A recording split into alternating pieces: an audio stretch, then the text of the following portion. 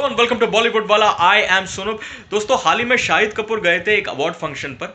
और खबरों की अगर माने तो Shahid Kapoor was promised an award by the award organisers the best male actor award in the popular category अब कुछ कारणवश उनको ये अवार्ड नहीं दिया गया at the last minute because of which Shahid walked out of the ceremony he walked out of the ceremony अब मेरा सिंपल सा सवाल ये है, क्या शाहिद कपूर एक अवार्ड फ़ंक्शन पर अवार्ड फ़ंक्शन देखने के लिए गए थे? दर्शक बन के नहीं।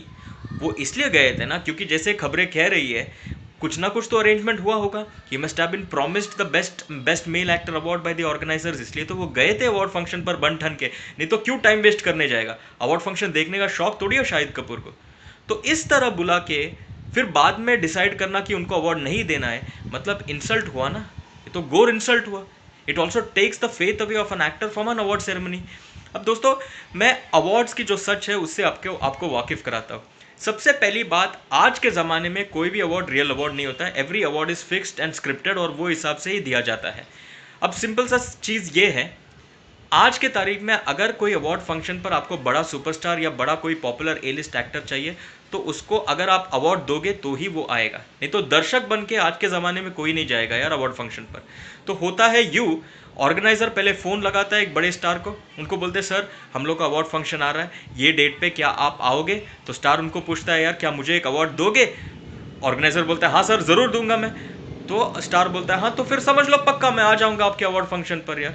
ये होता है one one type of understanding अब दूसरा होता है ऑर्गेनाइजर चाहते हैं कि यार स्टार उनके अवार्ड फ़ंक्शन पर परफॉर्म करे.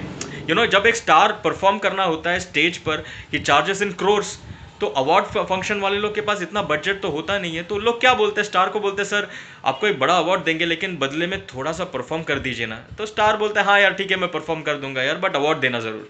तो हो गया, वापस स्क्रिप्ट हो गया स्टार आता है परफॉर्म करता है अवार्ड लेता है, घर जाता है, सभी खुश अच्छा पॉपुलरिटी सबको मिलता है। अब जब ऐसे अंडरस्टैंडिंग्स होता है तो कैसे आप समझोगे कि अवार्ड रियल अवार्ड होता है? तो इन द सेम मैनर अगर शाहिद कपूर के साथ जैसे खबरें कहती है, ऐसा कुछ अंडरस्टैंडिंग हुआ है तो क्यों अवार्ड नहीं दिया उनको? क्यों अवार्ड नहीं दिया?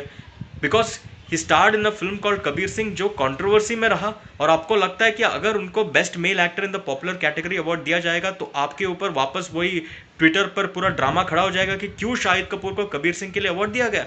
अब बात करते हैं कबीर सिंह के बारे में। दोस्तों I feel Kabir Singh and Shahid Kapoor deserves to sweep every single award in the popular category. Every single award. और इसके चार मुख्य कारण है। पहला है कबीर सिंह का जब रिलीज़ हुआ था Kabir Singh no one expected audience की तो छोड़ो। I don't think even the cast and crew expected that the movie will do excellent business at the box office मतलब 280 crores is not a joke is not a joke मतलब वो film को repeat value मिला है। बहुत सारे लोगों ने बार बार जाके वो फ़िल्म को देखा है यार।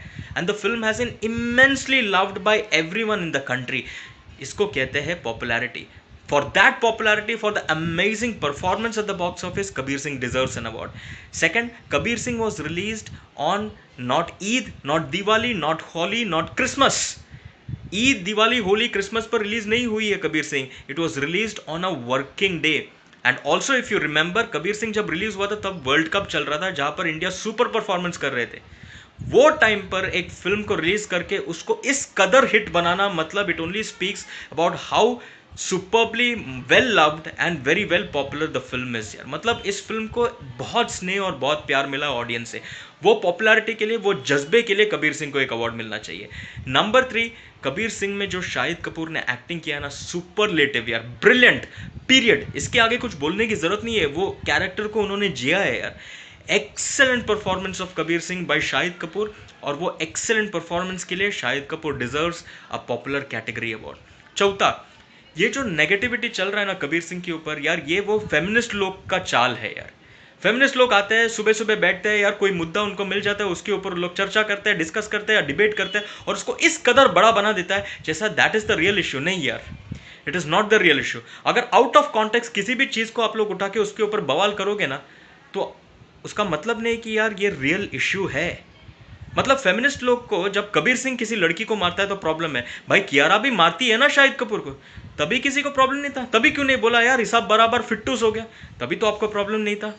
यार, जब थ्री इडियट्स में बलात्कार के ऊपर जोक बनाया जा रहा था रेप जोक्स चल रहे थे, तभी किसी को प्रॉब्लम नहीं था। सभी लोग तालियाँ बजा रहे थे। हाँ लेकिन शाहिद कपूर का कैरेक्टर कबीर सिंह कभी किसी लड़की को मारता है तो आपको प्रॉब्लम है। भाई, ऐसे भी लोग होते हैं यार। There are people who are flawed जो लोग मारते हैं अपने औरतों को, अरे, औरत को प्रॉब्लम है तो वो रिएक्ट करेगी यार फाइनली इट्स अ फ़िल्म यार। आप एक फ़िल्म को एक एंटरटेनमेंट के नज़र से देखो ना, ऐसा है तो यार, संजू जैसे फ़िल्म में जिसमें रणबीर कपूर ने लाजवाब काम किया, उसको भी मतलब क्यों वाहवाही मिलना चाहिए? नहीं मिलना चाहिए। मतलब यार, उसमें क्या बोलता है? Sanju had more than three hundred girlfriends then you should be saying he is glorifying that यार, ये ये जो चीज़ जो फेमिनिस्ट लोग ने चलाया है ना, कबीर सिंह के खिलाफ it is absolutely nonsense saying that यार this film glorifies beating and physical assault and abuse and this and that it's absolute nonsense film finally होता है एंटरटेनमेंट के लिए आउट ऑफ़ कॉन्टेक्स्ट आप एक सीन को निकल के नहीं डिस्कस कर कर सकते हो।